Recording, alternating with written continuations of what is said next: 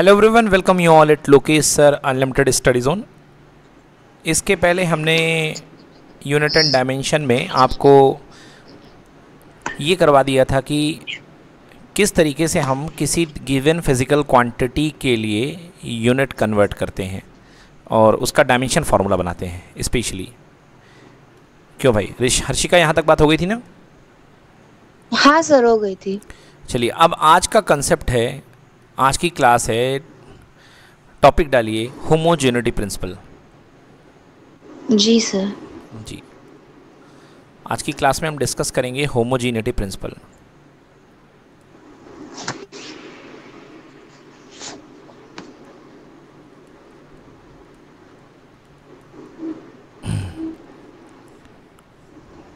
ठीक clear yes sir so homogeneous principle क्या कहता है पढ़िए बेटा if the dimension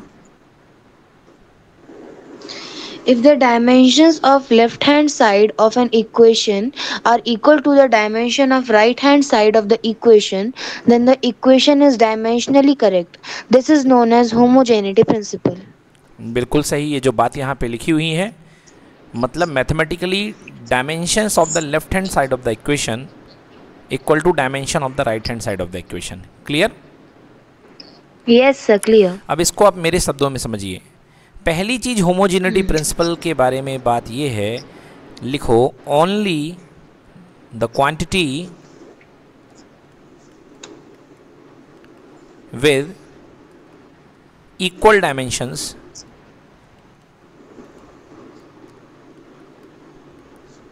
may be added और subtracted together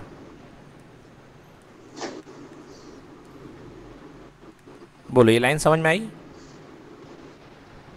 Yes only the quantities with equal dimension may be added और सब्ट्रैक्टेड मतलब जैसे आपके पास कोई क्वांटिटी है जिसकी डायमेंशन लेंथ की है तो लेंथ में yes, आप किलोग्राम ऐड नहीं कर सकते हो क्योंकि डिफरेंट डायमेंशन है। सॉरी. किलोग्राम की डायमेंशन एम चलेगी। सो so, एल में एल ही ऐड होगा। क्लियर yes ये लेंथ में लेंथ ही माइनस होगा। है ना? सेम टाइप ऑफ़ क्वांटिटी को ही ऐड कर सकते हो इसलिए उनकी डायमेंशंस भी क्या होगी? सेम होगी। क्लियर सेम only और एक चीज़ yes clear. कि एल है और एल स्क्वायर ये भी ऐड नहीं हो पाएँगे। क्योंकि यहाँ पर लेंथ की डायमेंशन वन है हाँ। और यहाँ पर लेंथ की डायमेंशन टू है। टू है। मैंने बताया था डायमेंशन का मतलब पावर हाँ याद आया? हाँ। तो यहाँ पे लेंथ की डायमेंशन टू है यहाँ पे लेंथ की डायमेंशन वन है इसलिए आप इसको ऐड नहीं कर सकते। नहीं करते सो लॉजिक की बात ये हुई कि only the quantity with same dimension may be added और सब्ट्रैक्टेड टुगेदर अब दूसरी बात जो है जो स्टेटमेंट में लिखी हुई है वो मैं आपको बता देता हूँ कि दूसरी बात क्या है कि इन एनी फ़िज़िकल इक्वेशन अगर कोई फ़िज़िकल इक्वेशन डायमेंशनली करेक्ट है तो उस फ़िज़िकल इक्वेशन में हर टर्म की डायमेंशन सेम होंगी। जैसे मान के चलो लिखा है A equal to B plus C so you can say dimension of A equal to dimension of B equal to dimension of c समझ में आया? Yes sir. अगर आपके पास कोई फ़िज़िकल इक्वेशन लिखा हुआ है अगर वो डायमेंशनली करेक्ट है तो हम्म। उसके ईच टर्म की डायमेंशन इक्वल आएँगी। हाँ सर यस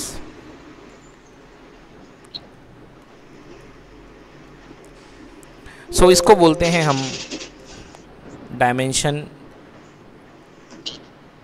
के लिए होमोजिनिटी प्रिंसिपल ठीक अब देखते हैं नेक्स्ट सर जैसे कि v प्लस यू बिल्कुल, मैं उसी को बताने जा रहा हूँ। एग्जैक्टली उसी को मैं बता रहा हूँ देखिए कि प्रिंसिपल ऑफ़ होमोजिनिटी का मतलब क्या होता है? अगर आपके पास कोई फ़िज़िकल इक्वेशन लिखी हुई है v equal to U plus A T लिखी हुई हाँ है? अगर आपके पास कोई फ़िज़िकल इक्वेशन लिखी हाँ हुई है v equal to U plus A T अगर मैं इसको डायमेंशनली इसको व्यू करूँ तो dimension of v should be equal to dimension of u should be equal to dimension of a into T yes अब यदि मैं v की डायमेंशन देखता हूँ as it is velocity so velocity की डायमेंशन एल टी की power minus one U की dimension. Again U L T की पावर माइनस वन ये सुनो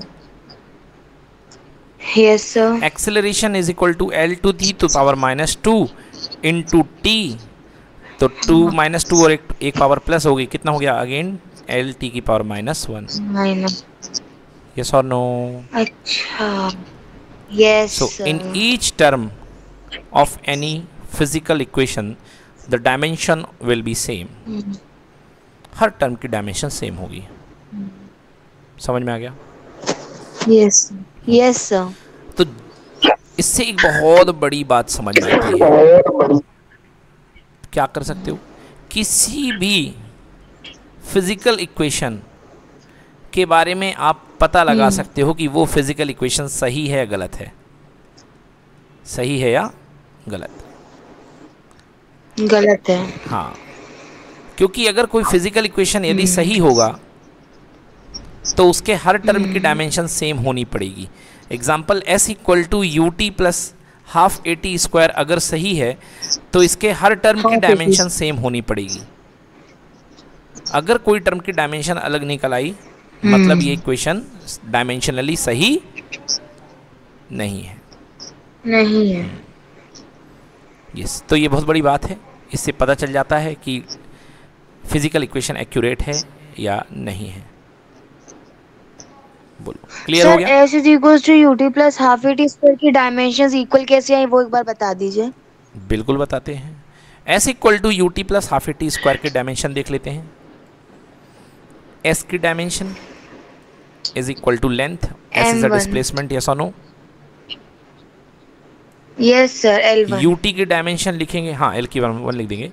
U इक्वल टू होता है u मतलब इनिशियल वेलोसिटी एल टी की पावर माइनस वन और t for time Yes, sir. L अच्छा and half A T. Square की डायमेंशन यदि मैं लिखूं तो हाफ़ कांस्टेंट है कांस्टेंट की कोई डायमेंशन होती नहीं है।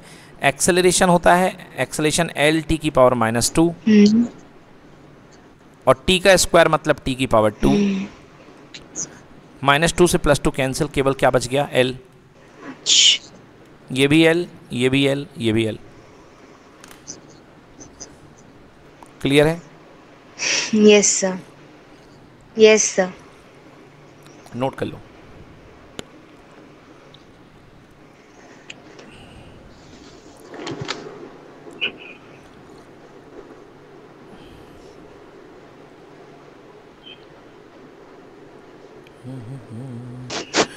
तो बच्चों अब बात करते हैं कि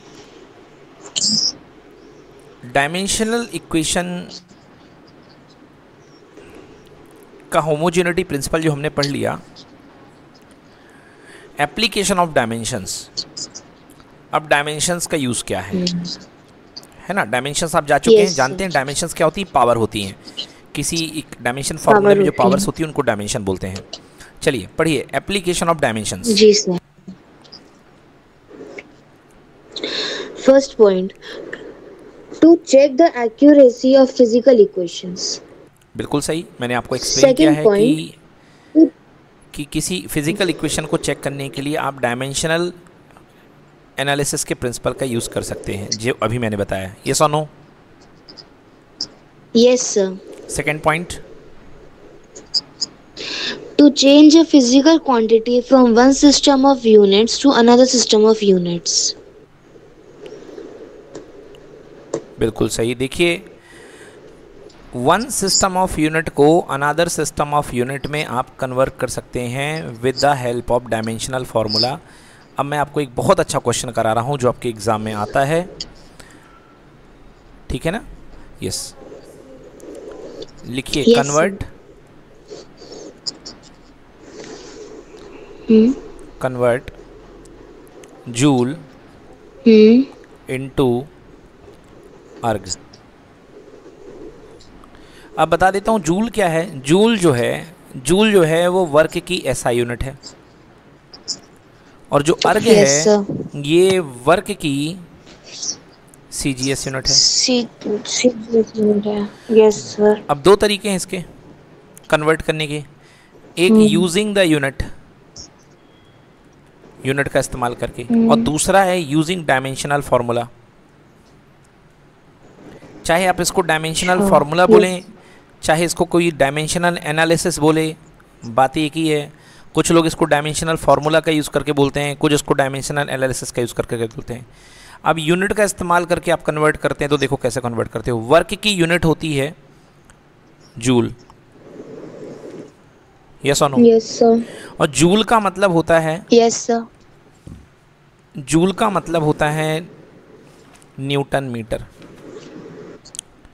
क्यों? Newton metre. क्योंकि वर्क Yes, का. फॉर्मूला होता है फोर्स इनटू डिस्टेंस तो फोर्स के बदले न्यूटन और डिस्टेंस के बदले newton metre force into displacement newton metre. बोलो यस और नो यस न्यूटन मतलब Yes, किलोग्राम मीटर पर सेकंड स्क्वायर। और एक मीटर Yes, ये. तो कुल मिला के बन गया किलोग्राम मीटर स्क्वायर पर सेकंड स्क्वायर। यस और नो यस अब आइए कन्वर्ट करते हैं इसको। डायरेक्टली हम सी जी एस में। So one kilogram equal to one thousand gram हुआ कि नहीं हुआ? हाँ sir one metre equal to hundred centimetre का स्क्वायर yes sir और सीजीएस में सेकेंड तो सेकेंड ही हम्म, होता है। Yes तो ये sir हो गया one thousand gram multiply by one four zero हो गए सेंटीमीटर स्क्वायर सेकेंड स्क्वायर हाँ। क्लियर हुआ? Yes तीन ज़ीरो ये हैं चार ज़ीरो ये हैं टोटल कितने हो गए? सेवन जीरोज हो गए। So ten to the power seven gram centimetre square पर सेकेंड स्क्वायर ये सारा मैटर सीजीएस में है इसको बोलते हैं अर्घ क्लियर हुआ? अर्ग। सो Yes, क्या कहेंगे sir. कि one joule equal to ten की पावर सेवन अर्ग स्क्रीनशॉट ले लो। Hmm. Yes, sir.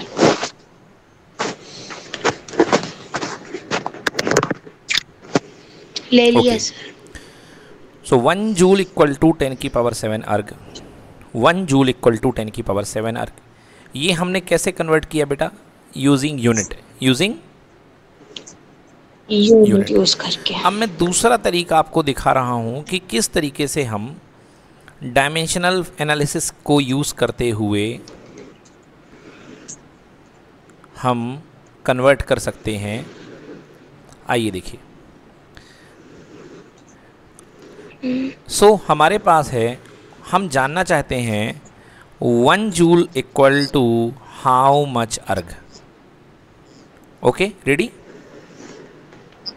yes sir physical quantity के कन्वर्जन का फॉर्मूला होता है N one U one equal to N two U two ठीक? N one U one equal to N two U two U two two yes sir ये first system और ये second system N one मतलब magnitude in first system so कितना है बेटा? One yes sir और unit मतलब डायमेंशनल फार्मूला यूज़ कर दीजिए। तो dimensional formula is equal to work का होता है एम एल टू टी की पावर माइनस टू पता है ना? हाँ सर सो ये फ़र्स्ट सिस्टम का डायमेंशनल फार्मूला है। You use M one this is L one and this is T one clear yes sir and we want to know N two और second unit में dimensional formula वही रहेगा। क्योंकि work इधर है तो इधर भी वर्क रहेगा। है ना? अच्छा मतलब सिर्फ़ मैग्नीट्यूड चेंज होगा और, और बिल्कुल अब देखो ना जैसे कि मैंने आपसे कहा one kilometre equal to one thousand metre तो वन किलोमीटर क्या लेंथ है ना? हाँ और सर मीटर भी क्या है? लेंथ है। लेंथ केवल ये न्यूमेरिक्स चेंज हो रहे हैं। हाँ यस जैसे मैंने कहा one metre equal to hundred centimetre yes sir तो भाई ये एस आई है ये सी जी एस है ये है एन वन ये है यू वन ये है एन टू और ये है यू टू क्लियर हुआ? Yes, हाँ। ओवरऑल क्वांटिटी तो सेम है ना? और हाँ, लेफ़्ट. में लेंथ है तो राइट में भी क्या है? Length. लेंथ ही है. So N two M two L two की पावर टू टी टू की पावर माइनस टू बोलिए यस की no yes sir now N two हमें निकालना है। सो एन टू इसके नीचे चला गया तो ये बन गया M one upon M two ये बन गया L one upon L two two का पावर टू ये बन गया T one upon T two का पावर माइनस टू बोलिए क्लियर है?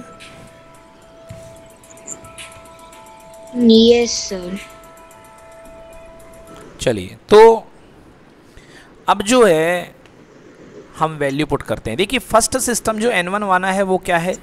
एस आई वाला है। और एस आई वाले में सब कुछ क्या है? वन तो वन का मतलब ऊपर एम वन की जगह वन किलोग्राम बोलिए सोनो हाँ सर और यहाँ पर एम टू का मतलब कितना हो जाएगा? वन ग्राम क्योंकि इधर का मामला किसमें है? सी। में है। CGS में. तो इधर का जो आएगा लेंथ एस आई में वन मीटर और इधर पे क्या वन सेंटीमीटर इधर पे वन सेकेंड एस आई का। सी जी एस का भी one second power minus two equals to N two clear बात? Sir. नाउ कन्वर्ट करो वन किलोग्राम में कितने ग्राम? One thousand gram. One thousand. Upon one gram one metre में कितने centimetre? Hundred. Upon hundred one centimetre. और one second से one second cancel ये आ गया एन टू ध्यान से देखो ग्राम से ग्राम कैंसिल सेंटीमीटर से सेंटीमीटर कैंसिल थ्री जीरोज ये हैं। और स्क्वायर लगा है तो टेन की पावर फोर जीरोज हो जाएँगे। मतलब टेन की पावर थ्री इंटू टेन की power four equals to N two so N two equals to ten की पावर सेवन आया कि नहीं आया? की powers. हाँ। इस तरीके से हमें पता चल गया कि वन जूल में कितने अर्घ होते हैं? टेन की पावर सेवन अर्घ होते हैं। क्लियर हो गया? जी सर हाँ। Yes, sir. चलिए तो स्क्रीनशॉट लीजिए फ़र्स्ट पार्ट का।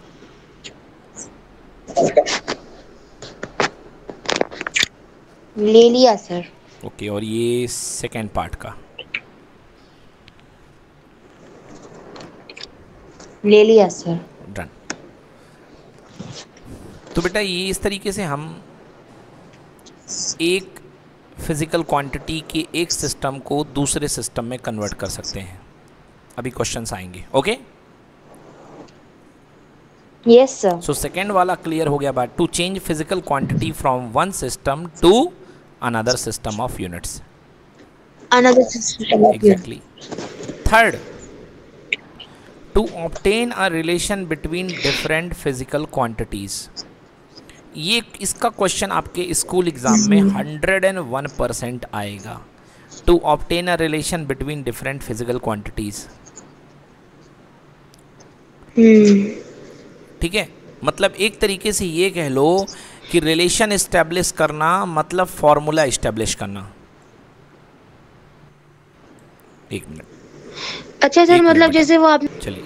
तो आप यदि ये कहना चाह रहे हैं कि one litre equal to ten की पावर थ्री सेंटीमीटर क्यूबिक ये ना? जी सर। तो बेटा देखिए ये लीटर क्या है यहाँ पे? वॉल्यूम की यूनिट ये वॉल्यूम है। सेंटीमीटर क्यूबिक किसकी यूनिट है? वॉल्यूम की यूनिट है लेंथ की। वॉल्यूम है। अच्छा सेंटीमीटर क्यूबिक वॉल्यूम क्यूबिक है ना? अकेला नहीं है। अच्छा oh yes sir yes sir हाँ। सर तो अभी रिलेशन इस्टेब्लिश कराने की इस लाइन का मतलब ये नहीं है कि आप सेम क्वांटिटी में रिलेशन इस्टेब्लिश कराओ। To obtain a relation between different physical quantities अलग अलग फ़िज़िकल क्वांटिटीज में आपको मैं रिलेशन बनवाऊँगा। ठीक है? अच्छा सर तो जी सर इस पर हम घनघोर न्यूमेरिकल करने वाले हैं और ये न्यूमेरिकल आपके एग्ज़ाम में भी yes, आएँगे। सर तो थोड़ा सा वक्त कीजिए अभी दीजिए वक्त Yes, इसके बाद हम न्यूमेरिकल पे आएँगे ओके यस सर चलिए अब आते हैं बच्चों हम सिग्निफिकेंट फिगर्स पे। अगला टॉपिक है सिग्निफिकेंट फिगर्स यस सर इसको लिए अपन स्किप कर रहे हैं। किस चीज़ को स्किप कर दें? सर ये जो रिलेशन बिटवीन हाँ इसका मैं न्यूमेरिकल करवाऊँगा बिल्कुल इसका मैं न्यूमेरिकल करवाऊँगा इसके छः सात अच्छे अच्छे न्यूमेरिकल करवाऊँगा। नेक्स्ट जो मेरी स्लाइड बनेगी वो इसी पर बनेगी okay okay sir yes sir चलिए अब पढ़ते हैं सिग्निफिकेंट फिगर्स पढ़ो बेटा significant figure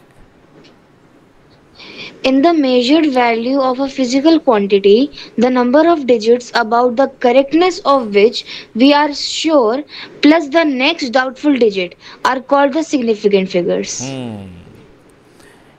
In the measured value of a physical quantity, the number of digit about the correctness of which we are sure. कुछ डिजिट वहाँ Yes, तक. जिनके लिए हम श्योर हैं और साथ ही साथ plus the next doubtful digit और उसके बाद का अगला डाउटफुल डिजिट उसके बाद का अगला डाउटफुल डिजिट इन सभी संख्याओं को गिन करके जो हम नंबर बताते हैं वो कहलाता है सिग्निफिकेंट फिगर्स कुछ आया समझ में? नहीं सर नहीं आया. अभी एग्ज़ाम्पल दूँगा तो समझ में आ जाएगा. जैसे मैं कोई फ़िज़िकल मेज़रमेंट करता हूँ और फ़िज़िकल मेज़रमेंट में मैंने लिखा कि मेरे एक कपड़ा काटा है मैंने लिखा 1.5 मीटर। ठीक है? यस सर अब 1.5 मीटर में और यदि मैं इसको बढ़ाऊं तो 1.52 बताओ ऊपर वाला एग्जैक्ट है कि नीचे वाला एग्जैक्ट है? ऊपर वाला। गलत। तो नीचे वाला है। ऑब्वियसली नीचे अच्छा ऊपर वाला नहीं है इसलिए नीचे वाला ऐसे बोल दोगी? नहीं सर ऊपर वाला वो है ना राउंड ऑफ़ है उसका हाँ ऊपर तो वाला राउंड ऑफ़ है इसलिए एग्जैक्ट नहीं हुआ ना। वही तो मैं कह रहा हूँ ऊपर वाला राउंड ऑफ़ है। अच्छा राउंड ऑफ़ यस नहीं होता है। यस ये सुनो हाँ हाँ यस यस सर भाई सिविल लाइन से आपका घर डेढ़ किलोमीटर है। ये अप्रॉक्स है कि एग्जैक्ट है? अप्रॉक्स है ये। अप्रॉक्स है ये। हो सकता है 1.5237 इतना कुछ हो। हाँ सो सर। कितने डिजिट आपके बन रहे हैं? One two three four five. बन रहे हैं? हाँ सर यस सर जितने ज़्यादा डिजिट आगे लोगे उतना ज़्यादा मेज़रमेंट आपका प्रिसाइज होगा एक्यूरेट होगा. ये नो यस तो सिग्निफिकेंट. फिगर्स यही होते हैं जो मापन की यथार्थता को एग्जैक्टनेस को दिखाते हैं कि मेज़रमेंट कितना एग्जैक्ट किया गया है. क्लियर अच्छा यस सर तो in the measured value of a physical quantity the number of digits about the correctness of which we are sure plus the next doubtful digit are called significant figures इसका मैं एक छोटा सा practical example आपको Yes. देता हूँ। बेटा घर से आप निकले. पिज़्ज़ा खाने के लिए। बोलो। हाँ सर कितने रुपए जेब में लेके जाओगे? बीस रुपए? यस सर नहीं सर पता है आपको कि बीस रुपए में पिज़्ज़ा नहीं मिलने वाला। बोलिए ऐसा नो हाँ सर हाँ तो उतने Yes. पैसे आप ज़्यादा लेकर के चलोगे है ना? हम्म. तो ऐसे ही Yes, किसी मेज़रमेंट को एक्यूरेटली फ़िज़िकल वैल्यू के फ़िज़िकल क्वांटिटी के मेज़रमेंट को एक्यूरेटली बताने के लिए एक pure digit sure measurement digits के नंबर की और थोड़े से डाउटफुल डिजिट की ज़रूरत पड़ती है। उनको। टोटल करने पर जो नंबर आता है उसको बोलते हैं हम सिग्निफिकेंट फिगर समझ में आया? यस सर आ गया सर चलो। अब कैसे करते हैं सिग्निफिकेंट डिजिट को found rules for found significant figure या सिग्निफिकेंट डिजिट दोनों एक ही चीज़ है। पढ़ो बेटा all All non-zero di- digits are significant figures. Example: 4362 metre has four significant figure बिल्कुल सही बात है। यहाँ पे फोर थ्री सिक्स टू है। कितने फिगर्स है बेटा? चार। हाँ। क्योंकि ये चारों सिग्निफिकेंट है। ये अपने काउंटिंग के बहुत इंपॉर्टेंट पार्ट है। ये सुनो। हाँ। अगला Yes, नेक्स्ट है all zeros occurring between non-zero digits are significant figures. Example 1005 has four significant figures हाँ जी। All zero occurring between non zero digits are significant figure यहाँ पे अगर वन और फाइव के बीच में या कोई भी दो नॉन ज़ीरो डिजिट के बीच में जितने भी जीरोज आएँगे उनको सिग्निफिकेंट काउंट किया जाएगा। सिग्निफिकेंट फिगर में काउंट किया जाएगा। Clear Yes, sir, clear. Next पढ़ो All zeros to the right of the last non-zero digit are not significant. Example 6250 has only three significant figures. हाँ, ये याद कर लेना धोखे वाला पॉइंट है हमको देख करके लगेगा कि सिक्स टू फाइव ज़ीरो में Yes. ये sir. चार डिजिट होंगे बट ये थ्री डिजिट ही काउंट होंगे Hmm. Okay Yes, three sir. Significant digit clear Yes. Sir. But यदि डेसिमल लगा Yes, होता sir. तो वो ज़ीरो भी काउंट होता पढ़ो नेक्स्ट फोर्थ पढ़ो Hmm. In a digit less than 1, all zeros to the right of the decimal point and to the left of the non-zero digit are not significant. Hmm. Example 0.00325 has only three significant figures. Yes decimal के पीछे वाला तो कोई काम का नहीं है। मगर नंबर के बीच वाले भी इधर बीच वाले नहीं शुरू वाले भी किसी काम के नहीं है। आ गया समझ में? सर ये काम के नहीं होते? ये डेसिमल के बाद वाले और डेसिमल के जस्ट पहले वाले काम के नहीं है। बट यदि ऐसा लिखा हो एक मिनट बता रहा हूँ।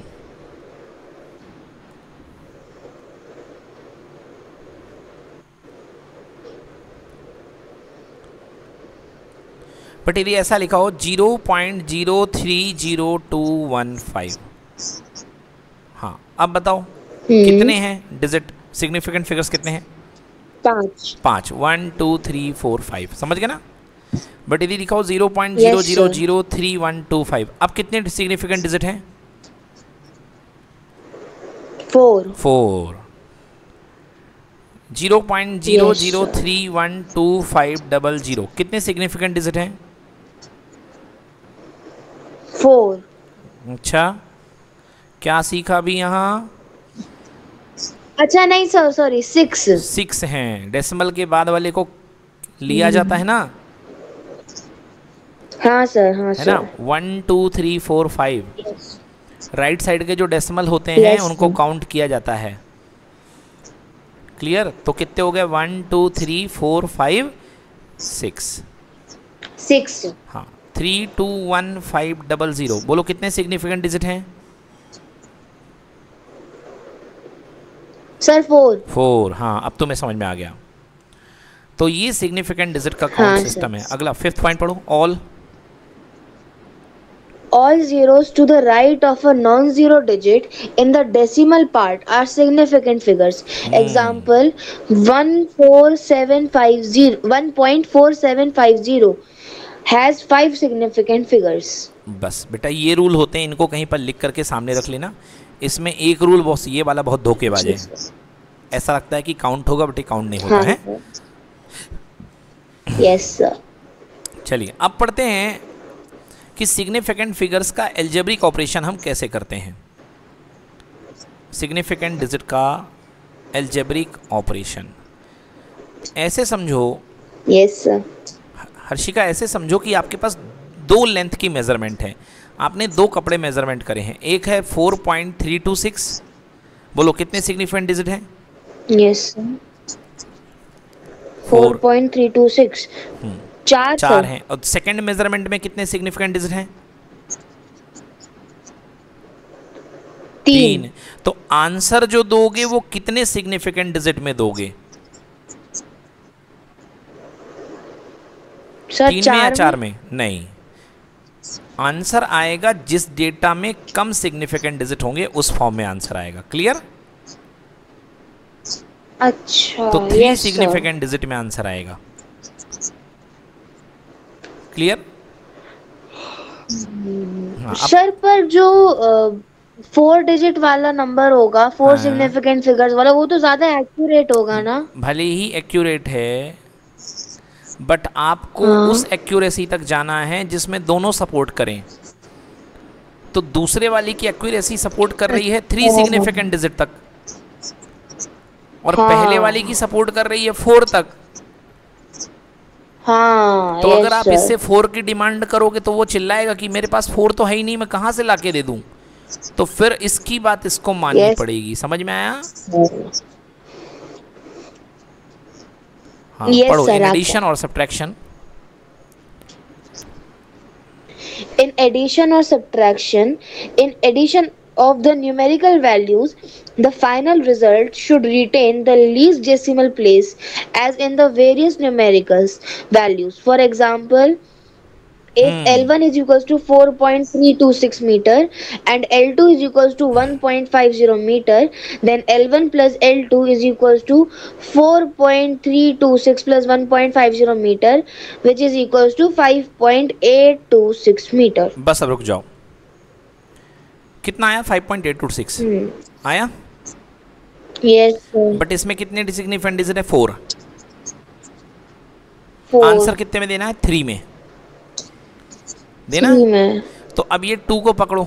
यस सर बोलो टू के आगे क्या है? हाँ. Six. सिक्स फाइव से ज़्यादा है कि नहीं है? है तो राउंड ऑफ़ टू को कर दो थ्री पे. आंसर आ गया फाइव पॉइंट एट थ्री हाँ और सिग्निफिकेंट डिजिट कितने अच्छा। काउंट कर लो? थ्री है ना?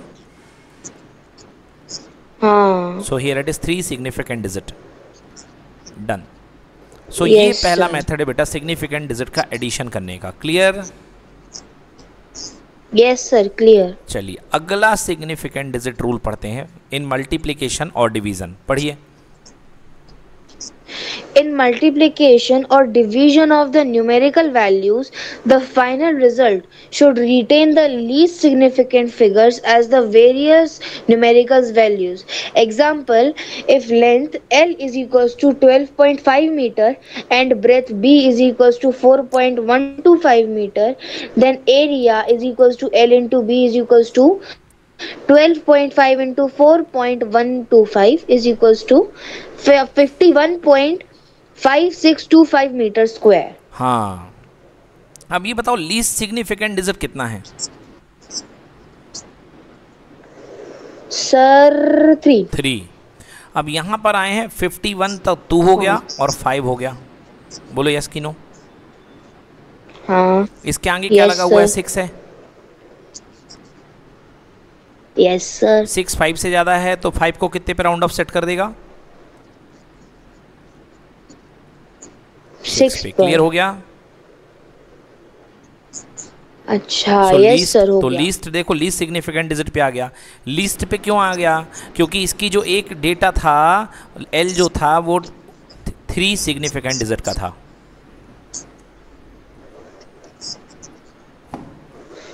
Yes मतलब एडिशन हो मल्टीप्लिकेशन हो डिवीज़न हो सब्ट्रैक्शन हो okay the final answer will keep the significant digit as given in the least data yes no yes sir. अब yes sir. Harshika round off तो आपने सुना होगा बचपन में लगाते थे हम लोग कि भैया पाँच से बड़ा हो तो चेंज कर दो पाँच से छोटा हो तो चेंज मत करो। अब कुछ रूल्स होते हैं खतरनाक वाले वो राउंड ऑफ़ के रूल्स सीख लो ठीक है?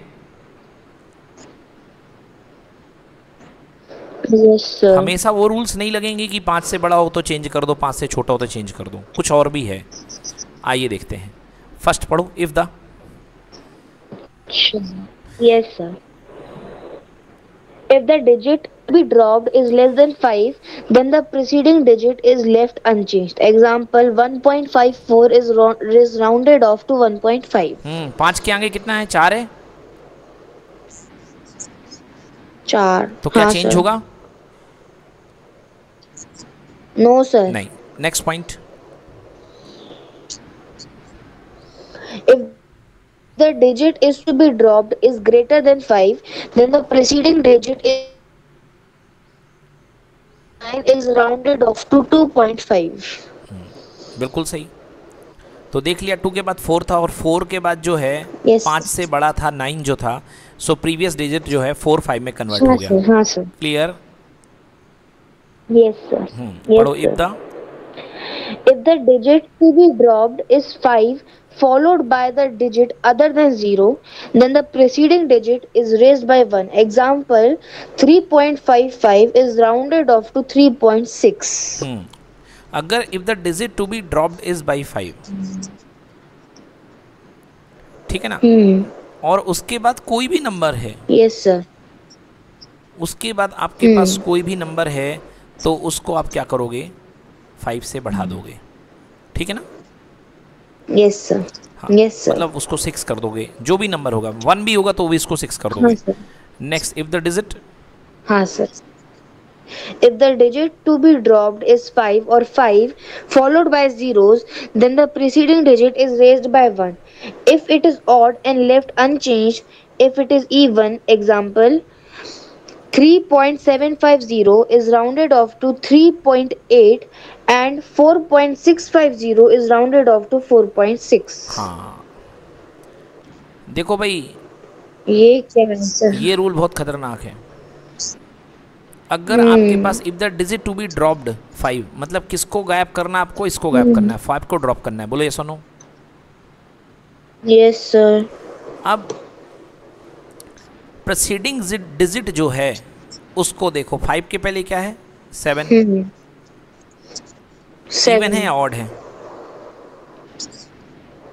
ऑड ऑड है।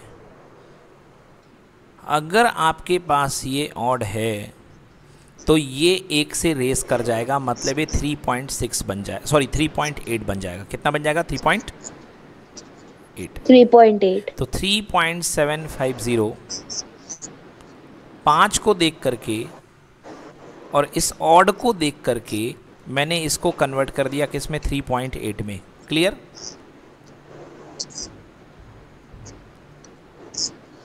नाउ नेक्स्ट है 4.650 आपको इस फाइव को ड्रॉप करना है। तो फाइव के पहले सिक्स देखा आपने। बोलो क्या हाँ, है ये इवन की ऑड इवन इवन है तो नो चेंज आंसर 4.6 ये रूल याद रखना है।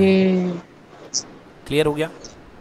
Yes sir yes sir so ये हैं राउंड ऑफ़ के रूल बेटा। ये आपके एग्ज़ाम में आएँगे इनको याद रखिएगा। ठीक?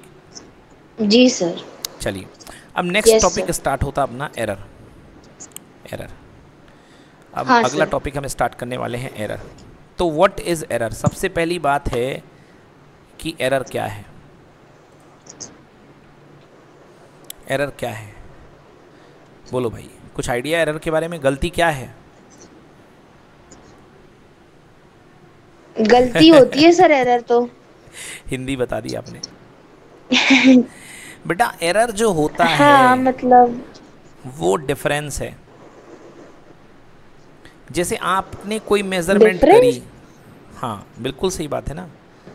आपने कोई मेज़रमेंट करी आपने कोई कपड़ा मेजर कपड़ा नापना है बोलो यस और नो यस सर तो दुकानदार के पास गए। आपने कहा भैया थ्योरेटिकल वैल्यू है। थ्योरेटिकल वैल्यू आपने कहा कि मुझे दो मीटर कपड़ा नाप करके दे दो।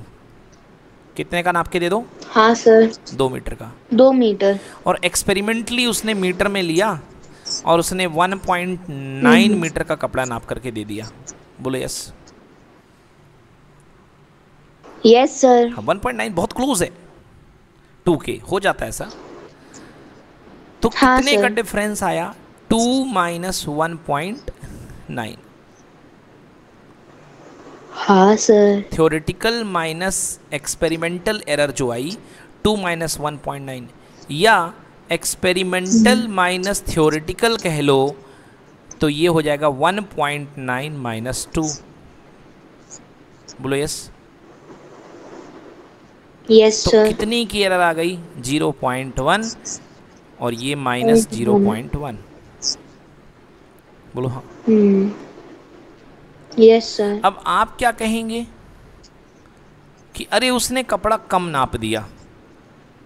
बोलो ये सुनो हाँ हाँ। सर मैंने मैं मतलब उसे ज़्यादा नापना था उसने कम नाप दिया। बोलो हाँ या ना? हाँ सर तो आपके नज़रिए में उसने गलती करी है कम नाप दी है? हाँ सर और ये क्या कहेगा? अरे मुझे ज़्यादा नापना था। थोड़ा सा। हाँ सर तो गलती गलती हाँ। होती है। तो इसलिए मैं यहाँ हाँ, पे सर। 0.1 का मॉड लगाता हूँ क्योंकि जब आप डिफरेंस देखेंगे तो 0.1 का है। हाँ। तो इसलिए 0.1 का मॉड लगा दोगे तो आंसर हमेशा क्या आ जाएगा? प्लस में आ जाएगा। 0.1 क्लियर हुआ? हाँ सर भाई तीन का चार बन गया। तो डिफरेंस कितने का हम्म। हुआ चार माइनस तीन का मॉड और तीन माइनस चार का मॉड आंसर हम्म। कितना आएगा? वन क्लियर हुआ? वन इसलिए एरर को. मैग्नीट्यूड में लिया जाता है। किसमें लिया जाता है? मैग्नीट्यूड में। मैग्नीट्यूड जी हाँ। मैग्नीट्यूड में लेते हैं। और जब हम एरर को मैग्नीट्यूड में लेते हैं तो इसको हम बोलते हैं एब्सोल्यूट एरर क्या बोलते हैं? एब्सोल्यूट एरर एब्सोल्यूट एरर जी हाँ। तो चलिए देखते हैं एरर के बारे में डेफिनेशन मैंने डेफिनेशन क्या बताई एरर की? पहले उस डेफिनेशन को आप कॉपी में लिख लें। Error is the difference of theoretical measurement with experiment with experimental measurement लिख लो कॉपी में। An error is a difference of theoretical measurement with experimental measurement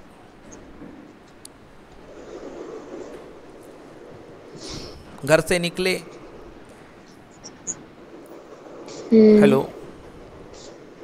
yes sir घर से निकले टेस्ट देने के लिए ये सोच के कि कि पचास नंबर का करके आएँगे। थ्योरेटिकली हाँ वहाँ पर गए चालीस नंबर का करके आए प्रैक्टिकली बोले क्या हो गया? हाँ। बोले दस की गलती हो गई। एरर दस की निकली कि नहीं निकली? हाँ। तो हाँ थ्योरेटिकल मेज़रमेंट कितनी करी थी? पचास। पचास एक्सपेरिमेंटल कितनी कर दिए चालीस चालीस तो गलती कितनी हो गई दस की समझ में आया की so this is Yes, called sir. error now read out the lack The lack in accuracy पढ़िए। in the measurement due to the limit of accuracy or the instrument or due to any other cause is called an error. the lack in accuracy शुद्धता की कमी Yes. किसमें? Measurement में? Due to the limit of accuracy limit of accuracy मतलब शुद्धता की सीमा हाँ, की वजह से। हर चीज़ की एक शुद्धता की सीमा है कि तुम उसको इतने शुद्ध तक बना सकती हो। बोलो यस की नो यस. हाँ। मैंने कहा कि exact zero point zero zero zero two centimetre की लाइन खींचो। तुम बोलोगे नहीं खींच पाएँगे। Hmm. सर आप दो सेंटीमीटर की बोलो खींच देंगे। सर आप ज़ीरो पॉइंट ज़ीरो टू की बोलोगे मैं खींच दूँगी मिलीमीटर स्केल लेके। अब आप बोलोगे sir zero point zero zero zero two की कैसे खींच पाएँगे? ये तो बैक्टीरिया का साइज़ हो गया। Yes, sir. So this is called limit of accuracy this is called limit of. Accuracy Accuracy. जब छोटी वाली सुई में धागा डालना पड़ता है हाँ तो बड़ी परेशानी होती है। हाँ या ना? हाँ सर क्योंकि लिमिट ऑफ़ एक्यूरेसी आ जाती है।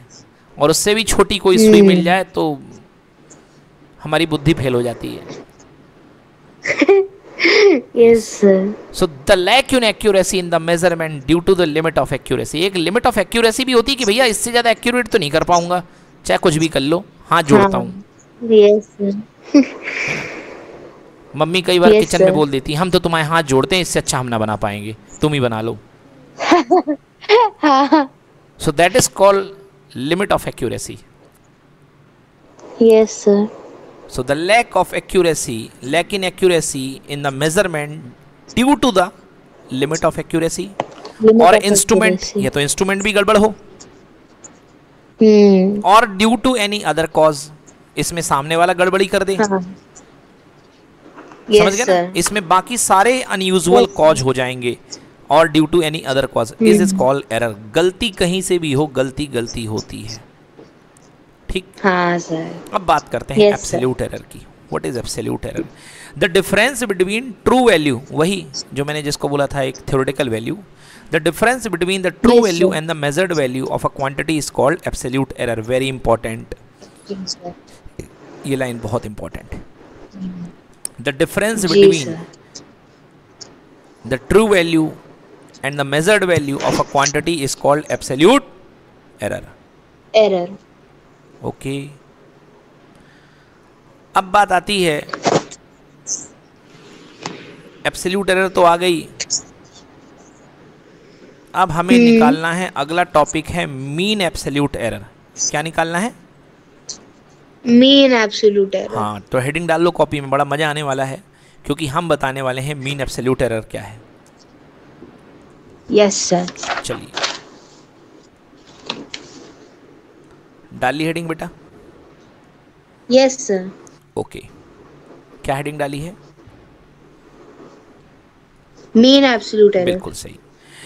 मैंने युवराज की गलती पता करने के लिए युवराज के पाँच टेस्ट लिए। पहले टेस्ट के मार्क्स ए वन दूसरे के मार्क्स ए टू तीसरे के मार्क्स ए थ्री चौथे के मार्क्स ए फोर पांचवे के मार्क्स कितने? A five clear A five yes sir yes sir अब मैंने इनको करके ये एक मेज़रमेंट है। टेस्ट ना बोल के मैं कहूँगा हाँ, कि युवराज को मैंने कभी कोई चीज़ नापने को दे दी? कि एक काम करो तुम ये मेजर हम्म। मेजर मेरे को करके दिखाओ। तो उसने पहला ए वन सेंटीमीटर दूसरा A two A three A four A five ये युवराज ने रीडिंग निकाली। Clear yes sir yes sir lab में युवराज ने रीडिंग निकाली। मैंने क्या किया? मैंने इन सब का मीन निकाला। हाँ। मैंने इन सब का मीन निकाला। मीन निकालने से मेरे को ये पता चल गई कि ऑन एन एवरेज एक ट्रू वैल्यू कौन सी है। तो mean equal to A one plus A two plus A three plus A four plus A five upon five बोलिए ऐसा नो यस ये सर मीन आ गया। Hmm. ठीक है ना? यस सर ये मीन आ गया। अब मैं अलग अलग एरर निकाल रहा हूँ। मतलब ये सेंट्रलाइज डेटा है। इसको मैं ए एम बोल देता हूँ। Hmm. अब मैं पहली एरर निकालता हूँ. तो पहली error equal to mean error minus first data first data की एरर सेंट्रल डेटा से this is equals to delta A one clear yes पहली गलती। मीन में से दूसरे डेटा की वैल्यू माइनस किया। दूसरी गलती। मीन में से तीसरे डेटा को माइनस किया। तीसरी गलती। मीन में से पांचवे डेटा को माइनस किया। A minus A five delta A five बोलो यस नो यस सर गलती गलती गलती पांचवी गलती। इन सारी गलतियों का मीन ले लिया। Delta A one plus delta A two plus delta A three plus delta A four plus delta A five सारी गलती का मीन लेकर के एवरेज लेके एड ऐड करके उनको पाँच से डिवाइड कर दिया। यस सर ये सर नो यस क्या था ये? सारे क्या थे ये? एब्सोल्यूट एरर क्या थे ये? Absolute error error absolute error का जो मीन कहलाएगा वो कहलाएगा मीन एब्सोल्यूट एरर समझ में आया? ओके यस सर आइए देखते हैं। पढ़ो। If If A1, A2, A3 up to AN are the measured values of any quantity A in an experiment performed n times, then the arithmetic mean of these values is called the true value AM of the quantity. हाँ तो सबसे पहले मैंने true value निकाली A1 plus सबसे पहले मैंने true Yes, value sir. निकाली सबको ऐड करके डिवाइडेड बाय जितने डेटा थे उनको एन कर दिया बोलो क्लियर अब इसके Yes, बाद sir, मैंने. हर डेटा की एब्सोल्यूट एरर निकालना शुरू किया। डेल्टा ए वन मतलब Hmm. पहले डेटा की error equal to mean error minus A one. Clear ना? Yes, sir. Second error equal to mean error minus A two third error A M minus A N done ये सारे के सारे क्या आ चुके हैं? ये आ Yes, चुके हैं. एब्सोल्यूट एरर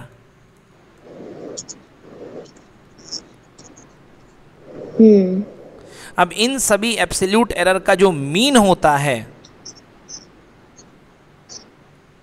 द अर्थ हाँ इनको हम बोलते हैं mean absolute error clear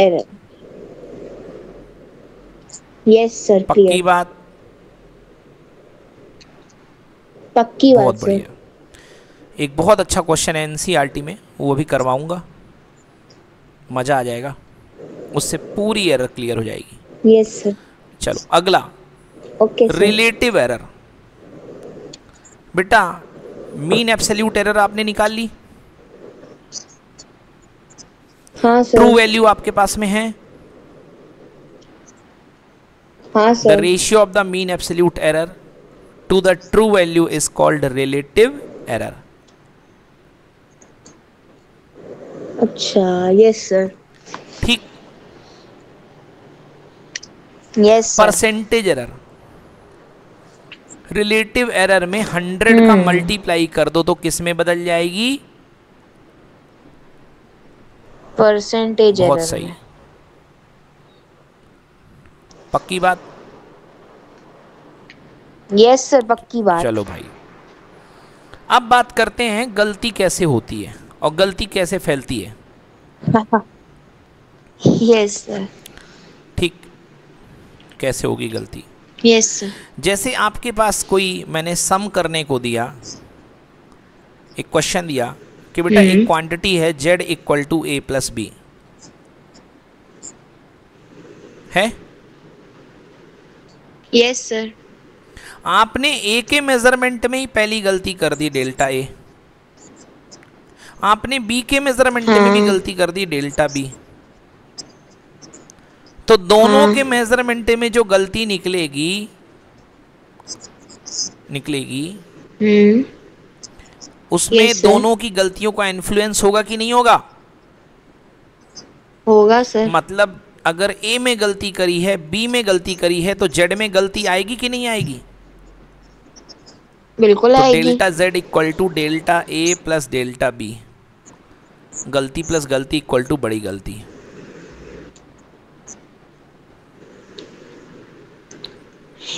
Clear की not yes sir yes sir clear चलो पढ़िए. एरर इन एडिशन और subtraction error in addition or subtraction. Let x equal to a plus b or x equal to a minus b.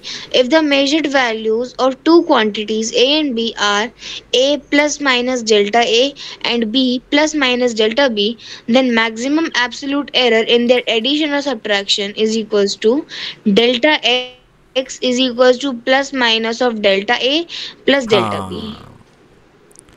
तो maximum error delta x क्योंकि यहाँ पे मैंने x लिया था। एक्स की गलती इक्वल टू दोनों डेल्टा ए प्लस डेल्टा दोनों को ऐड करके b. Delta A plus delta B करके बाहर प्लस या माइनस कहोगे सर प्लस या माइनस क्यों लगा रहे हो? क्योंकि अगर दोनों में तुमने फॉरवर्ड गलती करी है तो दोनों ऐड हो जाएँगी। हाँ। और दोनों में बैकवर्ड गलती करी है तो दोनों में ऐड हो जाएँगी मगर साइन नेगेटिव का आएगा। समझो कैसे? हाँ। पहला कपड़ा भी ज़्यादा काट दिया गलती से। हाँ। दूसरा कपड़ा भी ज़्यादा काट दिया गलती से। गलती से। तो दोनों गलती के ज़्यादा कपड़े जुड़ जाएँगे कि नहीं जुड़ जाएँगे? जुड़ जाएँगे ये सर। पहला हो गया प्लस वाला सीन माइनस वाला देखो। पहला कपड़ा कम काट दिया गलती से। हम्म, दूसरा कपड़ा कम काट दिया गलती से। गलती से। तो पहले वाले में भी निगेटिव वाली एरर दूसरे वाले में निगेटिव वाली। एरर निगेटिव प्लस निगेटिव क्या हो जाएगा? पॉजिटिव प्लस पॉजिटिव होता है। नेगेटिव नेगेटिव पॉजिटिव हो गया। तो इसलिए इसलिए प्लस माइनस दोनों लगा है। क्लियर अच्छा यस सर चलो आगे चलते हैं। एरर इन मल्टीप्लिकेशन और डिवीज़न बेटा मल्टीप्लिकेशन और डिवीज़न में? बेटा मल्टीप्लिकेशन और डिवीज़न में हम रिलेटिव एरर काउंट करते हैं। कौन सी एरर काउंट करते हैं? रिलेटिव एरर चलो पढ़ो। Error error in multiplication or division let x equal to a into b or x equal to sir x equal to axb or x equal to a divided A by X भी b नहीं है ए multiplied by B और X equal to A divided by B अच्छा, first case आप multiplication का ले रहे हो. सेकंड केस डिवीज़न का ले रहे हो division करें। yes sir if the measured values of a and b are a plus minus delta a and b plus minus delta b then ma- maximum relative error is equals to delta x by x is equals to plus minus of delta a by a plus delta b by b ठीक है yes ठीक है बेटा। Formula note Yes, कर लो sir. ये relative error का हाँ। मल्टीप्लिकेशन एरर में मैक्सिमम रिलेटिव एरर का होता है मल्टीप्लिकेशन या डिवीज़न में delta A by A plus delta B by B sir. मतलब मल्टीप्लिकेशन हो या डिवीज़न हो एरर क्या होंगी? ऐड होंगी। और कौन सी error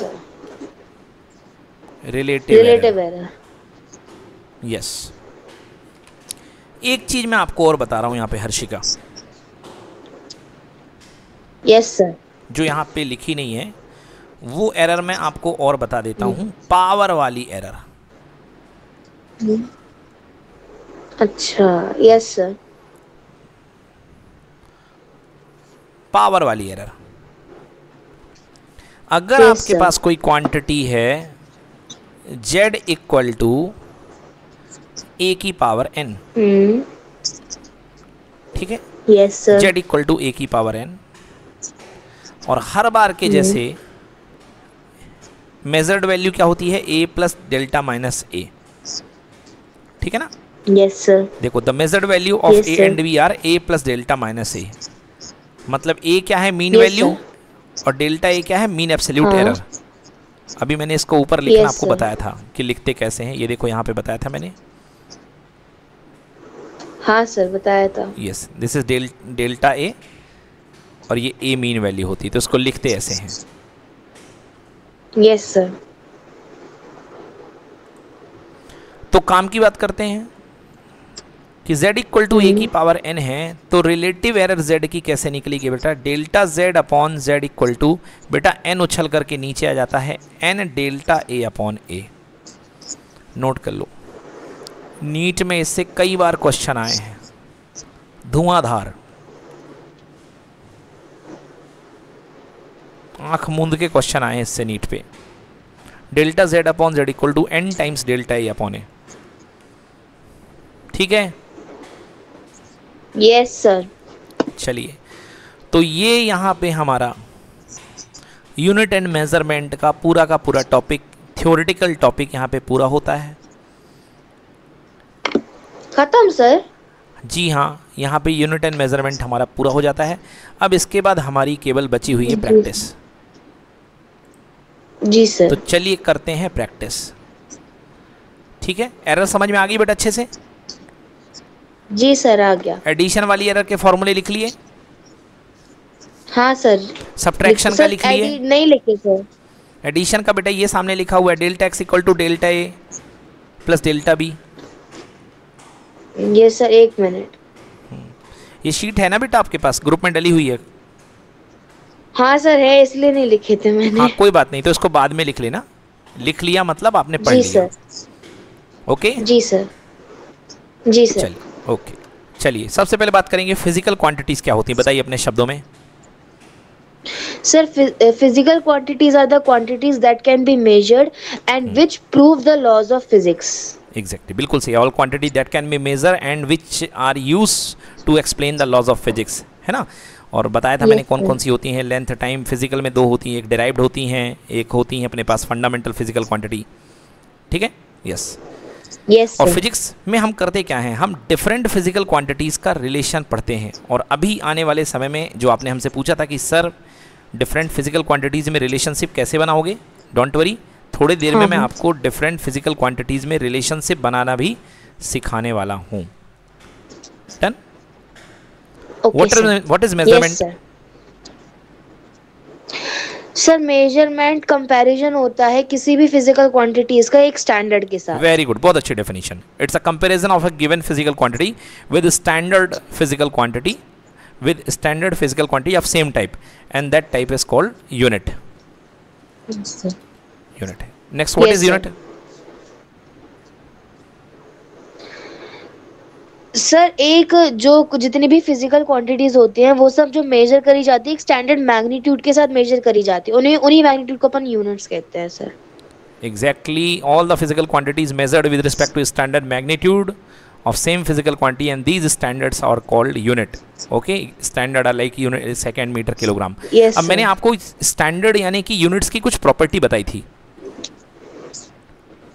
बताओ क्या है यूनिट्स की प्रॉपर्टी हाँ सर। सर पहली तो वो इजीली रिप्रोड्यूसेबल होनी चाहिए ओके अवेलेबल होनी चाहिए और widely acceptable easily easily reproducible हो इजीली अवेलेबल हो। यस सर और एक्सेप्टेड एक्सेप्टेबल भी होनी चाहिए। यस एक्सेप्टेड होने चाहिए और बदलने वाले होने चाहिए कि बिल्कुल नहीं बदलने वाले होने चाहिए? नहीं सर वेल डिफाइंड होना चाहिए जिससे हर second change yes well define के साथ they should be invariable they should be sir invariable yeah exactly. They must be well defined. They they must be they should be easily available and reproducible. है ना? राजा के paratype नहीं होने चाहिए कि राजा मर गया तो लोग परेशान हो रहे हैं है ना? हाँ सर हाँ. Now set of fundamental quantities तो एसआई ने सिस्टम ऑफ़ इंटरनेशनल यूनिट्स ने कुछ फंडामेंटल क्वांटिटीज का सेट दिया था. सेवन कितनी थी? सेवन कितनी थी? हाँ। सेवन हाँ सेवन फंडामेंटल क्वांटिटीज़ हैं जिनके नोटेशंस आपके सामने दिए गए हैं। एसआई SI में नोटेशन ये है सीजीएस में नोटेशन ये है ओके और ये इनके डायमेंशनल डायमेंशनल नोटेशन है। ये अच्छी बात आ गई। यस सर चलिए देखते हैं। मास की एसआई यूनिट किलोग्राम है और सीजीएस यूनिट क्या है? ग्राम। लेंथ की एसआई यूनिट लेंथ की एसआई यूनिट क्या है? मीटर और CGS unit centimetre centimetre dimensional symbol L और डायमेंशनल सिंबल क्या है? एल यस सर एल हाँ. अगला टाइम के लिए सेकंड है डायमेंशनल सिंबल टी है. यस सर टेम्परेचर की ऐसा यूनिट क्या है? केल्विन टेम्परेचर की एसआई यूनिट केल्विन और यूनिट जो की है C G S unit degree Celsius. और नोटेशन sir. देखो टेम्परेचर का theta theta okay yes sir yes sir current की SI unit ampere ampere CGS unit का भी सिंबल एम्पियर है। ओके बस। बाकी ल्यूमिनस इंटेंसिटी का कैंडला और। अमाउंट ऑफ़ सब्सटेंस का मोल आप जानते हैं। जी सर। फ़िज़िकल क्वांटिटी मैंने बताया था कि कुछ standard prototype and standard definition defined हैं। उनको आप ऐसे का वैसे ही याद करते हो। जैसे फॉर एग्जांपल मैंने बताया था what is mass what is one kilogram तो मैंने बताया था कि एक इरिडियम और प्लेटिनम का बड़ा हुआ सिलेंडर जो कि International Bureau of Weights and Measurement में रखा हुआ है। उसका जो वेट है सर वो कितने किलोग्राम है? वन किलोग्राम वन किलोग्राम बिल्कुल सही। और ये आपके बाकी डेफिनेशंस हैं जिनको आपको याद करना है। बन जाएँगे ना? यस सर हाँ इनको इनका कुछ कर नहीं सकते इनको बस आप ऐसे देख करके एज अ रेफरेंस मन में ध्यान रखिए है ना? लर्निंग वाला पॉइंट है। यस चलिए अब सप्लीमेंट्री यूनिट कौन कौन सी है बताओ? सर सप्लीमेंट्री यूनिट होती है एक होती है एंगल और एक होती है सॉलिड एंगल तो जिसमें जो एंगल की जो यूनिट होती है वो होती है रेडियन और सब सॉलिड एंगल की यूनिट होती है steradian